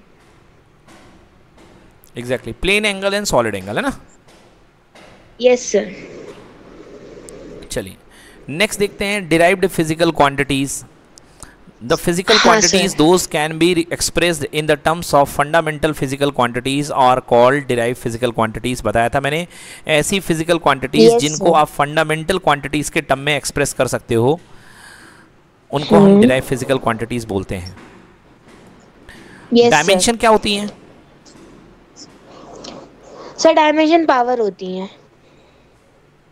very good the power कहते हैं उन्हीं का नाम है एक्सपोनेंट है ना? किसकी पावर होती? है बेस क्वांटिटी की. हाँ base quantity the power exponent of a base quantity that enters into expression of a physical quantity is called dimension of the quantity at that base मतलब जो कुल मिलाकर के जब आप डायमेंशनल. फार्मूला लिखते हैं तो डायमेंशनल फार्मूला लिखते समय जो फंडामेंटल फ़िज़िकल क्वांटिटीज़ के ऊपर ये फंडामेंटल फ़िज़िकल क्वांटिटीज़ के ऊपर जो पावर आती हैं उनको हम डायमेंशन बोलते हैं। यस डायमेंशन फार्मूला फोर्स का एम एल टी टी पर माइनस टू करवा दिया है। यस सर एनर्जी का भी करवा दिया है सब कुछ क्लियर है ये। डायमेंशनल इक्वेशन यस बेटा डायमेंशन फॉर्मूला मैंने बताया हम्म। आपको। अब मैं बताता हूँ dimensional equation whenever the dimension of a physical quantity is equated with the with the dimensional formula we get dimensional equation sir. अभी हम Yes, बनाएँगे डायमेंशनल इक्वेशन तब आप देखिएगा किस तरीके से हम इक्वेट करेंगे। When the dimensions of the physical quantity equated with the dimensional formula we get dimensional equation तो अभी मैं जब अभी आपको डायमेंशनल इक्वेशन बना के दिखाऊँगा। यस सर पढ़िए principle of homogeneity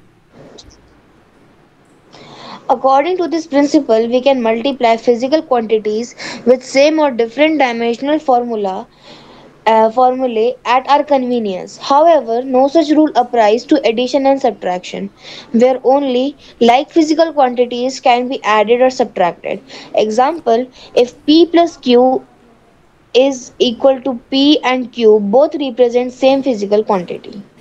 तो मैंने बताया आपको कि केवल सेम फ़िज़िकल क्वांटिटी को ही ऐड किया जा सकता है मल्टीप्लिकेशन डिवीज़न करके आप नई क्वांटिटीज बना सकते हो बट एडिशन सब्ट्रैक्शन के लिए सेम फ़िज़िकल क्वांटिटी यूज़ करोगे ठीक है Yes, sir. चलो अगला क्वेश्चन देखिए calculate the dimensional formula of energy from the equation half M V square चलो बनाओ बेटा। अच्छा। यस सर ये ये ये जो लिखा है बेटा देखो इधर पे ये वाला। हाँ। ई हाँ। का बॉक्स के अंदर E one appoint two constant है कॉन्स्टेंट की कोई डायमेंशन नहीं, नहीं होती। होती। हाँ। एम स्मॉल एम की डायमेंशन कितनी होगी? मास और वेलोसिटी की डायमेंशन क्या होगी? लेंथ अपॉन सर बन गई। टाइम का होल स्क्वायर यस सर बन गई सर यस सर ये कहलाता है डायमेंशनल इक्वेशन ये जो लिखा हुआ है ना this structure is called dimensional equation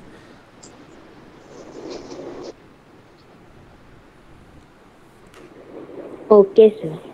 हाँ। और ये क्या कहलाता है? ये कहलाता है फ़िज़िकल इक्वेशन डायमेंशनल फॉर्मूला बन गया।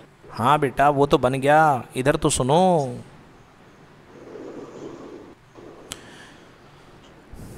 हाँ, ये जो ऊपर लिखा है ब्लॉक के अंदर इसको बोलते हैं फ़िज़िकल इक्वेशन और जो नीचे लिखा उसको बोलते हैं dimensional equation yes sir done बहुत बढ़िया डन सर चलिए अगला क्वेश्चन इलिस्ट्रेशन नंबर टू पढ़िए kinetic energy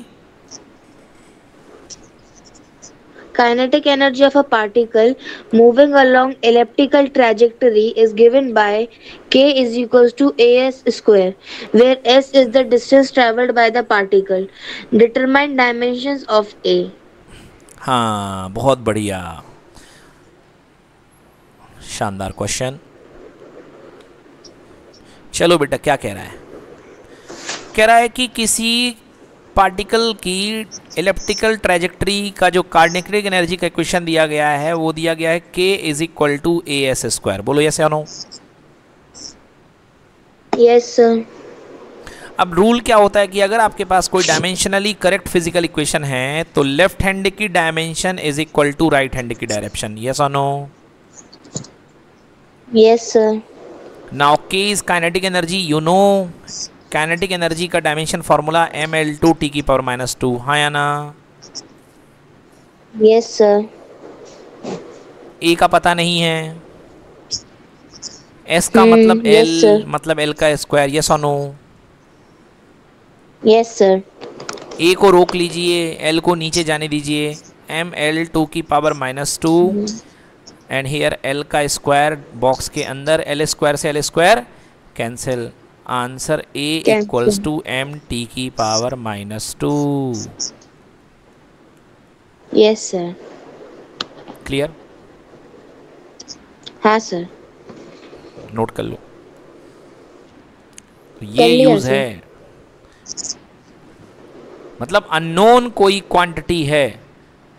तो उसके डायमेंशन पता हम्म। लगा सकते हो। With the help of dimensional analysis yes clear? Clear yes sir clear yes sir clear okay चलो अगला क्वेश्चन करो फिर। एक मिनट अगला क्वेश्चन कौन सा हम्म। करवाऊं तुम्हें The वेट वेट वेट बेटा हाँ इलिस्ट्रेशन ये वाला छोड़ दो अभी ये ड्यू कर दो ड्यू कर दो ये वाला करो illustration next Okay. The The, distance. covered by a particle is going in time t is going by x equal to a plus bt plus ct square plus dt cube hmm. of a, b, c and d. हाँ find the dimensions of A B C and D and A B C D चलो सबकी dimension find करो। बनेगा? Yes sir. Sir try करते हैं। हाँ बोलो। Sir try कर सकते हैं। बिल्कुल ट्राई करना ही है। जी सर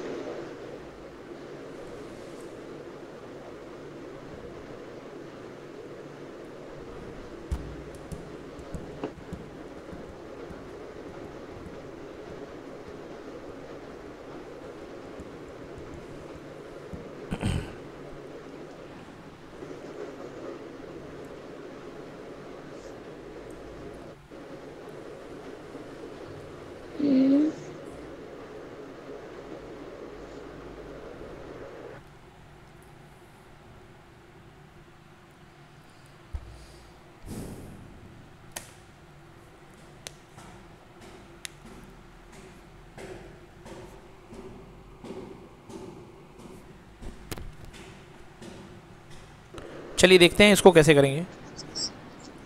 जी सर। देखो देखो बेटा x equal to A plus B T plus C T square plus D T cube है। जी सर। डायमेंशनल एनालिसिस का सिद्धांत कहता है कि ईच टर्म की डायमेंशन इक्वल होंगी। हाँ, no sir.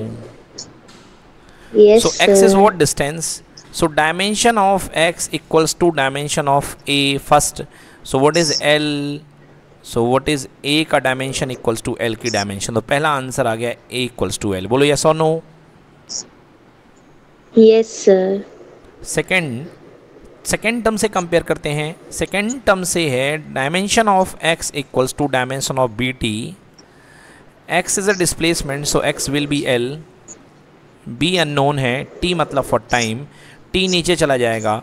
So l upon t equals to b means b equals to L T की पावर माइनस वन बी का डायमेंशन l की t की power minus one third point x की dimension is equal to C T square तो x upon T square का dimension equals to c का dimension so c का dimension equals to dimension जो बनेगा length upon t की power minus two so box c equal to ये हो जाएगा एल टी की power minus two done yes sir. Clear बेटा क्लियर है? Clear. हाँ सर क्लियर है. X equals to D T cube x equals to length है इसका डी का पता नहीं this is time cube so D का dimension equals to length upon time का power three is it clear yes sir clear okay so चलिए check करते हैं सभी हम answers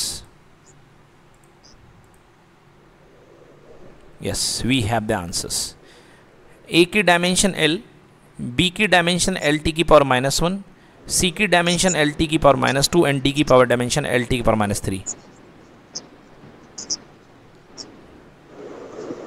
clear yes sir okay now next topic. Use of dimensional analysis. मैंने बताया था कि कि to conversion one physical quantity from one system to another system of unit one system of unit to another. Clear? Yes, sir. Yes.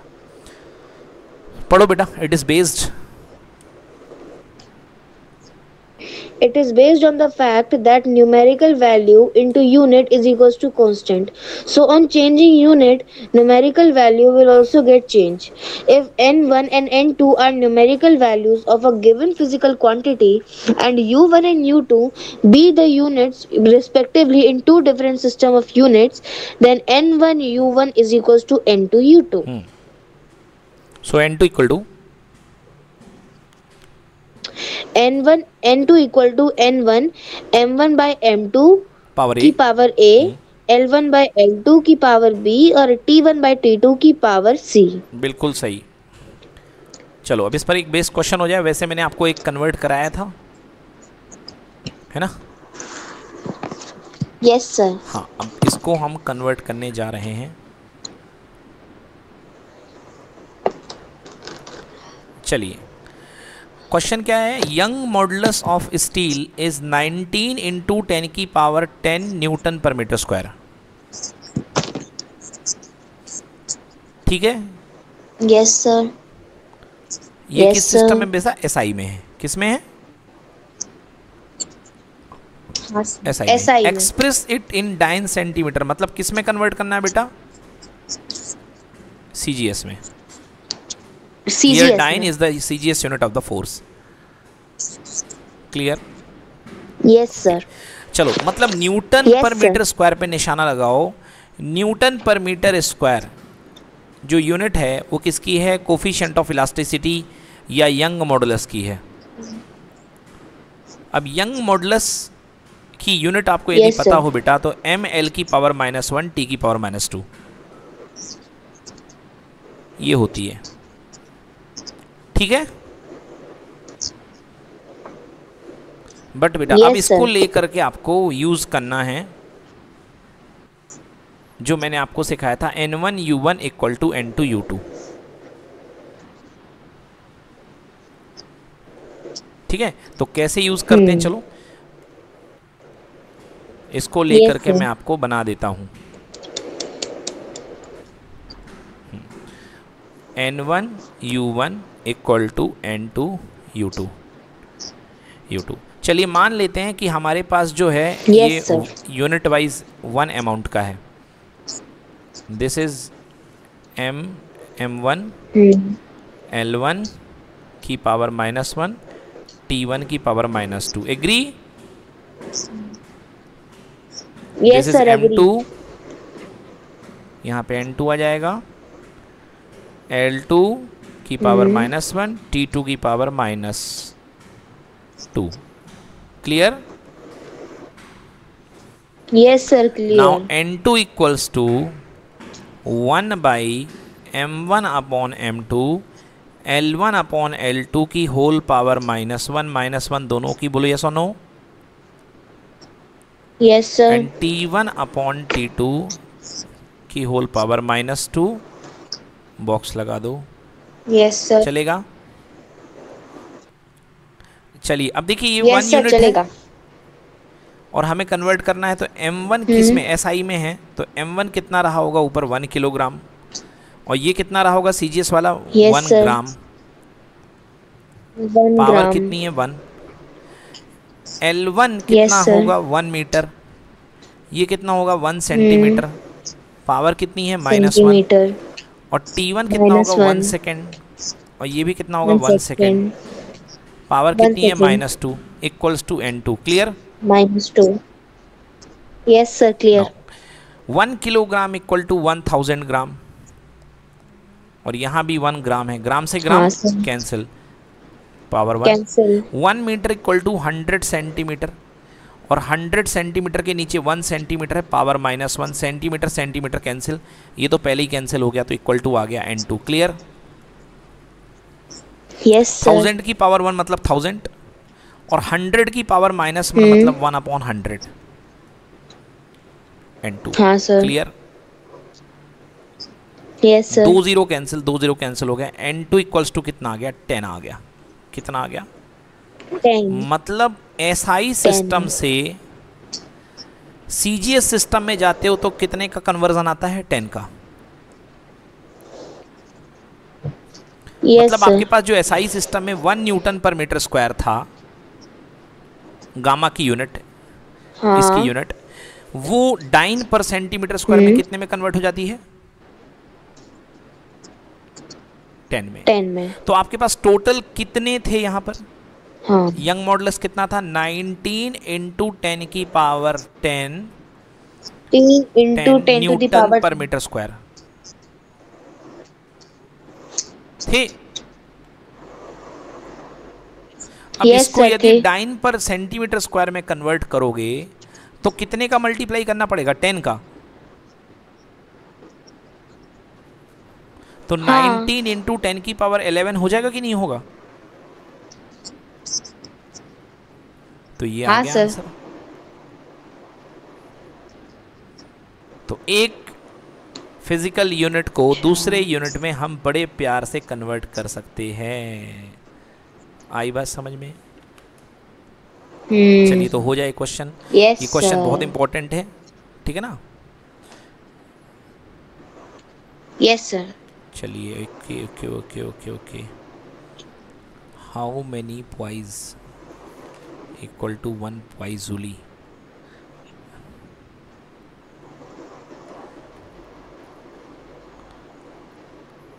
ऐसा unit of viscosity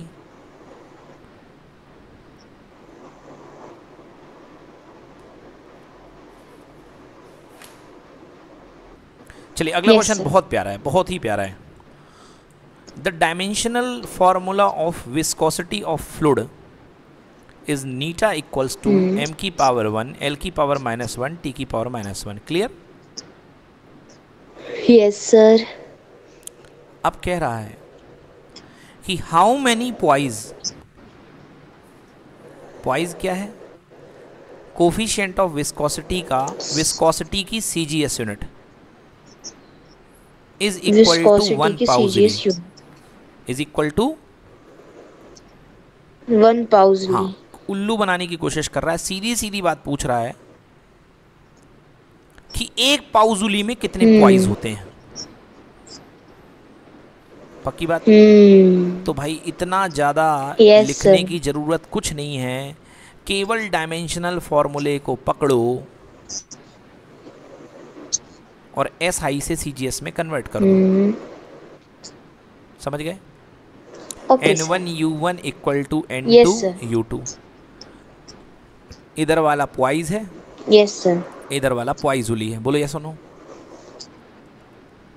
yes poise का कितना amount दिया है? एन वन दिया है one unit one अब unit लगाते हैं बेटा तो यूनिट Yes, में sir. है एम वन एल वन की पावर माइनस वन टी की पावर माइनस वन बोलिए yes Sonu yes sir poiseuille के यूनिट्स हमको पता नहीं है। तो नहीं यूनिट पता है मतलब एम्पलीट्यूड नहीं पता है कितना है न्यूमेरिक्स नहीं पता है। उसका मैग्नीट्यूड। एंड यूनिट यही चलेगी बस डिनोमिनेशंस बदल जाएँगे। एम टू एल टू की पावर माइनस वन टी की power minus two T two power minus one बोलो ये सोनो यस सर सी में ये सेकंड होता है ये भी सेकंड होता है। शुरू में ही काट दो। यस सर अब इसके नीचे ले आओ। वन तो बाहर है ही है। एम वन के नीचे कितना आ गया? एम टू हाँ। एल वन के नीचे कितना आ गया? एल टू और इनकी L2 पावर की है माइनस वन और इसकी पावर है वन बोलिए Sonu yes sir one kilogram equal to one thousand gram ये ऊपर वाला किलोग्राम था क्योंकि ऐसा हाँ ही था। सर और नीचे वाला क्या है? ग्राम है। One yes. Gram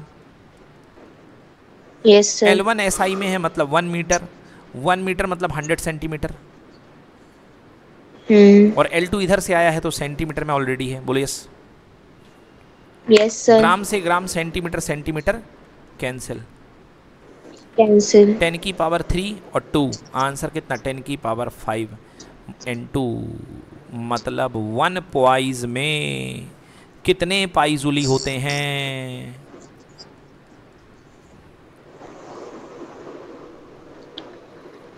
कल तक बोलोगी क्या? नहीं sir ten to the power five five poiseuille तो वन पॉइज में टेन की पावर फाइव पाउजुली होते हैं। हमने क्या गलती कर दी सर अब सर अपन ने आपने वो प्लस ले लिया। मेरा भी आंसर टेन है नहीं यार। नहीं नहीं प्लस नहीं हाँ बिल्कुल सही कह रही हो। वो जो पावर थी एक्चुअली हाँ माइनस मेरा थी तो ये माइनस वन थी हाँ तो ये पलट करके नीचे चला जाएगा वन बाई हंड्रेड अरे तो बताओ ना बेटा बिल्कुल सही कर रही हो। हाँ सो आंसर कितना आएगा बेटा? टेन सर मैं वही तो देख रही थी मैं। हाँ सर प्रॉब्लम तो वन पॉइज इक्वल टू कितने poiseuille ten poiseuille ten poiseuille yes sir ठीक है। हाँ सर सो भाई उल्टा बोल गया। पाइजुली एस आई में है ना? हाँ सर तो one poiseuille equal to ten poise है ना? यस सर तो one poiseuille equal to ten poise poiseuille. S I है और पॉइज क्या है? सी जी एस बहुत बढ़िया। चलिए तो ये क्वेश्चन खतरनाक खतरनाक हम करते जा रहे हैं। अब अगला क्वेश्चन उसी पर बेस्ड ये देखो भाई साहब खतरनाक कन्वर्जन दिया है। A calorie is a unit of heat energy and it equals to 4.2 joule एक कैलोरी में कितने जूल होते हैं? 4.2 जूल ठीक है? मतलब 4.2 हो गया Yes, इसका. मैग्नीट्यूड n1 और ये हो गई इसकी u1 हाँ। ठीक। यस सर अब कह रहा है yes sir where one joule equal to one kilogram metre square per second square नहीं भी दिया होगा तो हम लोग जानते हैं एनर्जी का फॉर्मूला होता है kilogram metre square per second square जानते हो ना?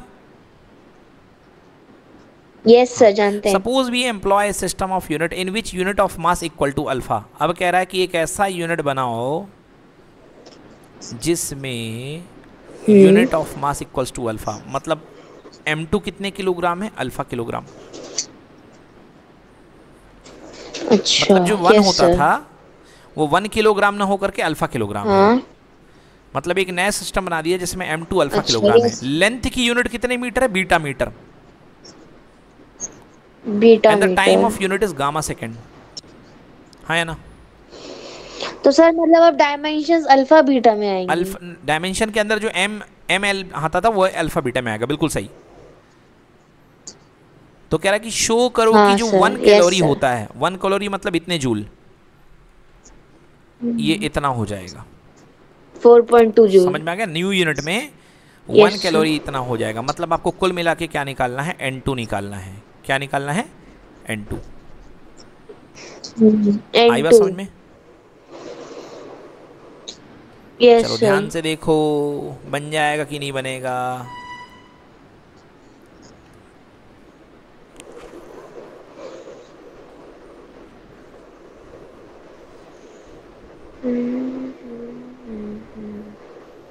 बोलो। हाँ सर बन जाएगा। बहुत सिंपल है। हाँ सर बहुत इजी है। वो उसमें बस उनने नीचे ईटा और गामा लिख दिया है हाँ। और जो पावर थी तो उसको वो माइनस में आ जाएगी क्योंकि वो अपॉन में नीचे वेरी हाँ सर बन जाएगा। सिंपल है। अगला यूज़ होता है डायमेंशनल एनालिसिस का। To check the dimensional correctness of a given physical relation मतलब लेफ़्ट और राइट right की वैल्यूज़ को चेक करो और यदि सभी चीज़ें सेम आ रही हैं मतलब इक्वेशन डायमेंशनली करेक्ट है। यस की नो यस सर हम्म, पढ़ो Harshika it is based It is based on principle of homogeneity, which states that a given physical relation is dimensionally correct if the dimensions of the various terms on either side of the relation are the same. हाँ First, ये होता है dimensional correctness का dimensional. Statement कि अगर आपकी left और right side की डायमेंशन इक्वल हैं तो वो इक्वेशन ट्रू होगा वो रिलेशन ट्रू होगा नेक्स्ट अब ये डिस्क्लेमर है। चेतावनी है याद रखना इनको भूलना नहीं। फ़र्स्ट पढ़ो। हाँ sir powers are dimensionless second है साइन थीटा ई की पावर थीटा कॉस थीटा और log theta give dimensionless value in अब एक्सप्रेशन थीटा इज़ डायमेंशनलेस हाँ तो बेटा ये सब की सब डायमेंशन होती हैं। डायमेंशन लेस होती हैं डायमेंशन लेस होती हैं क्योंकि थीटा डायमेंशन लेस होता है okay Yes sir, yes sir. We Next, can we add can or add- subtract quantity having same dimensions. बिल्कुल सही बात है। अगला क्वेश्चन जो हम कर चुके हैं वही करेंगे। Let us check the dimensional correctness of the equation v plus v equal to U plus A T sir कर चुके हैं हाँ क्या हमने चेक किया इसको? हाँ कर सर चुके हैं। दोनों का v निकाला यू निकाला। इनिशियल वेलोसिटी फाइनल वेलोसिटी और दोनों तरफ़ ये इक्वल आती है सो ये डायमेंशनली बिल्कुल करेक्ट है। Yes सर चलो ठीक है हो गया ना डन डन सर ऐसे लिखेंगे। The dimension formula for U for V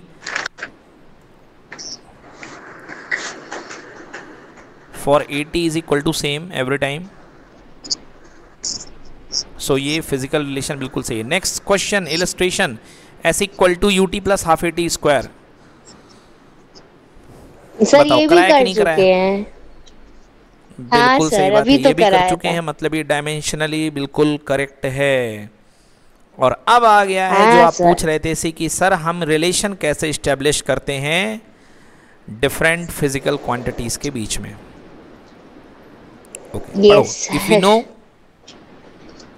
if if we know the various factors on which a physical quantity depends then we can find a relation among different factors by using principle of homogeneity अगर आपको पता है कि किन किन factor पे आपकी given physical quantity depend कर रही है तो आप yes sir खुद से फॉर्मूला इस्टेब्लिश करके लेके जाओगे अब एक फॉर्मूला मैं आपको अच्छा, इस्टेब्लिश करवाता sir. हूँ। आप ही बना देंगे फिजिक्स का फॉर्मूला मैं बस इतनी जानकारी दूँगा आपसे कि ये वाली क्वांटिटी इस चीज़ पर डिपेंड करती है। चलो थोड़ी सी पहले आपको जानकारी दे दी जाए इस क्वेश्चन के बारे में फिर हम आगे कराते हैं। ये देखिए क्वेश्चन आपके सामने लिखा है। Let us find an expression for the time period of a simple pendulum ये एक सिंपल पेंडुलम बॉब आपने लटका दिया है। यहाँ से इसको धक्का मारा। ये गया ट्वीन। वापस आ गया। इधर गया फिर इधर आया फिर पीछे गया फिर यहाँ आ गया। एक कंप्लीट रोटेशन को कंप्लीट करने में लगा टाइम गया वापस आया ये गया ये वापस आया। इतने को लगा हुआ टाइम कहलाता Yes, one time period yes आपको जानकारी दी गई है कि ये टाइम पीरियड पेंडुलम बाब का मास पर डिपेंड करता है। But you don't know which power ये पावर मान लो। हाँ। आपको जानकारी दी गई कि ये लेंथ पर डिपेंड करता है पेंडुलम की लेंथ पर। But you don't know which power आप मान लो बी पावर से। हाँ सर और कह रहा है कि एक्सलेशन ड्यू टू। ग्रेविटी पर भी डिपेंड कर रहा है। तो आपने मान लिया विच पावर जी की पावर सी जी ठीक है? यस सर मतलब Yes, कुल. मिलाकर के तीन चीज़ें आपने मान ली हैं इस इक्वेशन में कि t is proportional to m की power a t is proportional to l की power b and t is proportional to g की पावर c. हाँ या ना? यस सर अब तीनों को मर्ज हाँ, कर sir. दिया तो ये बन गया t प्रपोर्शनल टू m की पावर a l की पावर b g की पावर c. कांस्टेंट हटता है तो Yes, प्रोपोर्शनल आता है और प्रोपोर्शनल हटता है तो कांस्टेंट आता है। तो मैं प्रोपोर्शनल हटाऊँगा कांस्टेंट लगाऊँगा। So T is equal to K M की पावर ए एल की पावर बी जी की पावर सी बोलिए ऐसा नो जी सर ए बी सी की जगह कुछ लोग एक्स वाई जेड भी ले लेते हैं। फ़िलहाल यहाँ ए बी सी ले लिया है अच्छी बात है। हाँ सर तो ए बी सी चलने दो। कुछ लोग एक्स वाई जेड भी ले लेते Yes, हैं। अब चलिए लगाते हैं डायमेंशनल एनालिसिस का फॉर्मूला जो कहता है कि लेफ़्ट साइड की dimension equal to right side की डायमेंशन बोलो हाँ। हाँ सर चलिए। तो डायमेंशन हो गई बढ़ गई यहाँ पे। तो टी की डायमेंशन सो क्या लिख सकता हूँ मैं? M की पावर ज़ीरो एल की पावर ज़ीरो टी की पावर वन लिख सकता हूँ? हाँ सर लिख कांस्टेंट की कोई डायमेंशन नहीं होती है। बिना कुछ बात करे उड़ा दो। हाँ। M का मतलब मास मास का सिंबल होता है a और पावर लगी हुई है a l का सिंबल होता है l और पावर लगी हुई है b यस सर g मतलब ग्रेविटेशनल एक्सलेशन मतलब l t की पावर माइनस टू और पावर लगी हुई है c पक्की बात? Yes sir m zero L zero T की t की पावर वन मास की पावर ए। लेंथ में दो दावेदार हैं एक बी पावर ये है और एक सी पावर ये है। तो साथ में ले लिए तो लेंथ की पावर b हाँ, प्लस सी। sir. ये सुनो? Yes sir. और टाइम की power minus two C. Okay? Yes sir. क्योंकि minus two into C minus two C. हाँ सर अलग अलग कर लिया? हाँ सर कर लिया. अब चलिए डायमेंशन कंसेप्ट कहता है कि लेफ़्ट साइड की डायमेंशन और राइट right साइड की डायमेंशन इक्वल होगी। यहाँ पर मास की डायमेंशन कितनी है? ज़ीरो और यहाँ मास की डायमेंशन है ए तो पहला लॉजिक आ गया ए इक्वल टू ज़ीरो बोलो ये Sonu A equal to zero yes sir दूसरा कंसेप्ट कह रहा है कि एल की डायमेंशन ज़ीरो है और यहाँ बी प्लस सी है। तो B hmm. Plus C equal to zero ये सुनो यस सर संभाल के रखो। तीसरा है यहाँ पर पावर कितनी है? माइनस Yes, वन और यहाँ पे कितनी है? माइनस टू सी तो minus two C equal to minus one minus से minus cancel C equal to कितना हो गया? One upon two okay one by two yes sir और अगर सी वन बाई टू है तो इक्वेशन नंबर टू से यहाँ से B plus C equal to zero है तो C B equal to minus C B equal to minus C और सी की वैल्यू आई है वन बाई टू तो B equal to minus one by two ये सोनो हाँ सर क्लियर हाँ सर क्लियर बी सी तीनों आ गए? जी सर आ गए। अब इस फॉर्मूले में आ जाओ ये मास्टर इक्वेशन जो हमने रोक रखा था इसको मैंने नंबर नहीं दिया था इसको नंबर वन देना था। तो क्या था? T is equals to K L की पावर ए नहीं m की पावर a था l की पावर b था g की पावर c था। सो एम की पावर हाँ तो k m की पावर a a कितना आया है? ज़ीरो l की पावर बी कितना आया है? Minus one by two yes sir yes sir b की वैल्यू एक मिनट बेटा। जी की पावर एल टी की power minus one L T की पावर माइनस टू ठीक है equal to two pi under root L by G B equal to minus C minus two C हाँ ये गलती हुई है। देखो बेटा ये गलती हुई है। यहाँ पे माइनस माइनस टू सी था? हाँ सर और यहाँ पे वन था? हाँ सर यहाँ गलती से मैंने क्या लिख दिया? माइनस वन क्या लिख दिया? माइनस वन अच्छा हाँ तो एक्चुअली हाँ ये प्लस वन है। तो minus two C equal to one तो C equal to minus one by two और C equal to minus one by two होगा तो B equal to one by two तो b की जगह कितना आएगा? वन बाई टू और g की जगह आएगा हम्म। पावर में minus one by two clear yes तो के मास की पावर ज़ीरो हो गया वन और हो गया एल का पावर वन बाई टू मतलब अंडर रूट एल और जी की पावर वन बाई टू मतलब अंडर रूट जी ठीक तो फॉर्मूला sir. बन गया T is equal to K under root L by G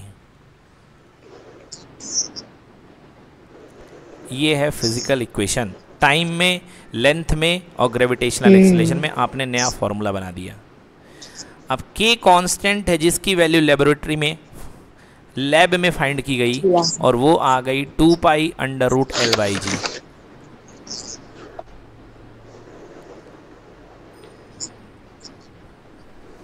ठीक two pi under root L by G. Yes sir check कर लो भाई साहब।